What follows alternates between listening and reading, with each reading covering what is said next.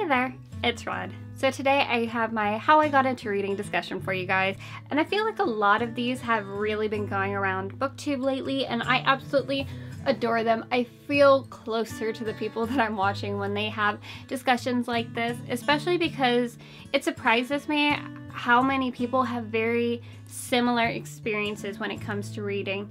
And I think having that commonality with other booktubers it just helps to really unify our community. And I just absolutely love that, that we still somehow relate and share something, even though we didn't even know there was a community to be a part of yet.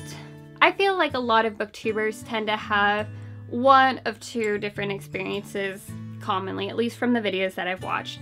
One is that they found some super awesome, great book that just sprung their love and passion for reading, or they've sort of loved books their entire lives, whether their parents read to them, whatever reason, it's just something that's always been there for them. And mine is kind of a mixture of both of those. From a super young age, I have always had a very positive association with reading because my mom read to me when I was as long as I can remember, to be honest. Uh, she would read to me the Berenstain Bears, Dr. Seuss, whatever books we had around. And then as I started to get a little bit older, she started introducing me more into chapter books. Do you guys remember when they were called chapter books? Don't tell me that was just me in my school. But back then, they weren't just books. They were the super cool, advanced, long books because they had chapters in them. They were long enough to have chapters. But yes, as I got older, she started reading me chapter books, and a lot of times it sometimes it was her just reading to me, but it was also her sitting down with me and having me read with her that didn't just create a positive experience with books and her reading to me, but it helped me to love reading myself because this was a great experience for me and my mom. We bonded over this. Now, I never really saw it as a hobby or as a conscious passion for reading. It was just something that I always did. I had spare time, I was reading books. When I was in elementary school, I spent the majority of my time in our library. Now, keep in mind, we actually had a really awesome library for an elementary school because it was brand new, it was beautiful. And I spent most of my time there. The librarian knew me. That's how you know you spend a lot of time in the library when not only does the librarian know you, but she actually starts putting you to work in the library, which she did. And I read so many books. She would recommend so many books to me, and I would just sit there before school, at recess, uh, when I got old enough, at lunch, and I would just read. I read a lot of the Bailey School Kids books. I loved those books. I read Goosebumps, and just whatever books sort of got put into my hands, I was reading. Now, don't get me wrong, sometimes I went out and played on the playground with my friends, and yes, I did have friends, but it just I felt so at ease being surrounded by books. I loved spending my time reading. It wasn't because I felt lonely, I just genuinely loved reading. Oftentimes that was just how I wanted to use my time. And my best friend in elementary school also happened to love reading, so she and she was a very quiet person, so she didn't mind spending time in the library with me. So it was a very cohesive friendship. This continued as I got older, if anything, occasionally my teachers would get on me because I was reading the books I wanted to read over the books they wanted to read. I remember being so ambitious about the summer reading list, and I'm not talking about the mandatory ones that they have you do in high school for like AP classes and that kind of thing, but throughout elementary and middle school, we had these long summer reading lists, and the whole idea was that you just tried to read as many as you could off of that. It was like a fun challenge, and then you would often get some kind of prize. And I loved doing that, and I won just about every time. It's kind of like winning the Goodreads challenge, but for summer. That's the best way I know to describe it if you guys didn't have that, was it was almost like having a Goodreads challenge and winning it at the end of the summer. And I always, and then as I got older, I continued to have very good relationships with my English teachers in particular because I loved reading, and that was the subject that I. That's the subject that I just enjoyed the most, that I felt the most confident in. And a lot of times my teachers would recommend books to me just like that librarian did, and they would discuss it with me, and this all sort of supported my love for reading and this hobby that I didn't really think of as a hobby. it it all just sort of came and supported that with me and it just really reinforced those positive associations. But then things sort of took a turn. I went from reading about 7 to 12 books a week in high school. Yes, I read a lot. A lot, especially if I was on break. On winter break, I'd have two weeks off and I would read no less than 12 books because I usually got a lot of books for Christmas. So I would read no less than 12 books during winter break. And I went from reading all of that at 16, 17 years old to reading hardly anything. It was not like it was an overnight change, it definitely wasn't. But life got busier, I started college, I had a whole lot going on. I had some health issues and life I sort of let life get in the way and I, it wasn't a conscious decision for me to stop reading. I just kind of did. And it's sad. Looking back on it, it's very sad. And I didn't even realize how much my life was kind of lacking without having this very basic passion that I've always had not in my life. I might read like a book I don't I don't want to say a book a year but it was not nearly what it had been before. It was bad. It was really, really bad. I read mostly for school. I read textbooks. I read textbooks. And not even necessarily literature, as in short stories, anything like that, but just straight up chapters out of my psychology textbook or out of my history textbook. And I was lucky if I even thought about reading. And I don't know if you guys experience this, but reading is a habit, and when you fall out of that habit, you sort of have a hard time getting back into it. And it, it's not to say that I stopped reading altogether, but just I, I don't even want to talk numbers with you because it's it's sad. It's sad. But then, and this is where Emma and I actually have some common ground, and I'm sure there are a lot of people that sort of found reading for, because of this. But I remember seeing the trailer for The Mortal Instruments, City of Bones. I remember seeing this trailer and I was like, I have seen that book before. I had heard about the book, but more than that, I'd seen it on the shelves of Barnes & Noble a billion times. So many times. And I never really paid much attention to it. I'd always seen it, but I never picked it up. And even during this time that I was not at reading as much, I still found myself at Barnes & Noble a lot. I never quite gave that up. I always spent a lot of time at Barnes & Noble, just like I do now, because Barnes & Noble is life, and I just feel calmer when I'm there. It's weird. It's like my happy place. But I saw this trailer and I'm like, oh, that actually looks really interesting. How I can't believe I've never picked up this book before. And I was determined to read this book before the movie came out.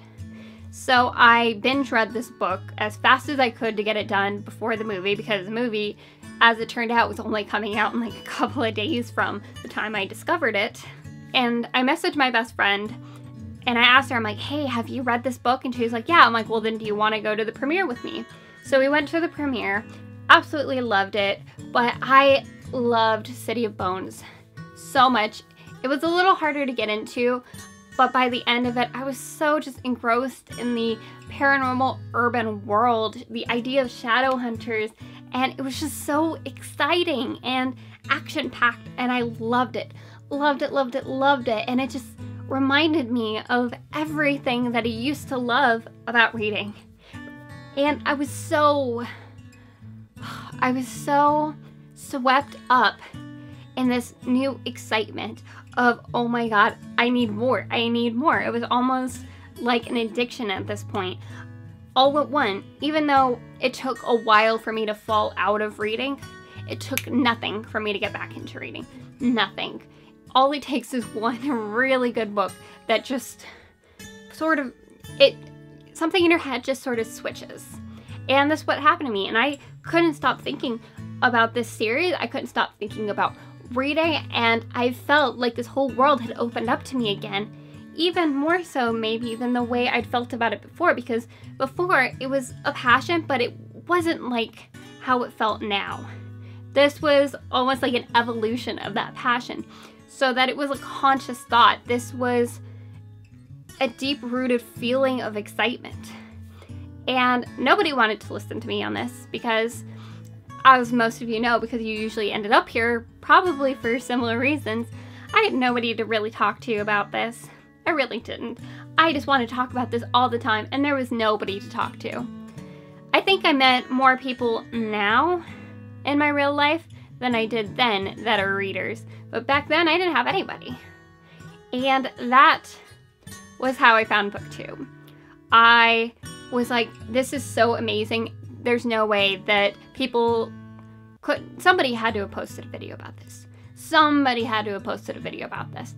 And I remember several years before that, I was looking at people that posted videos about books. And this was during my very, very long fall out of reading.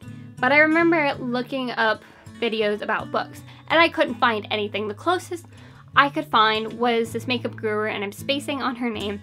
She read a book and posted a video about it, and even though I hadn't read this book, I loved this video on it, and I thought, oh my god, people need to be posting videos about books.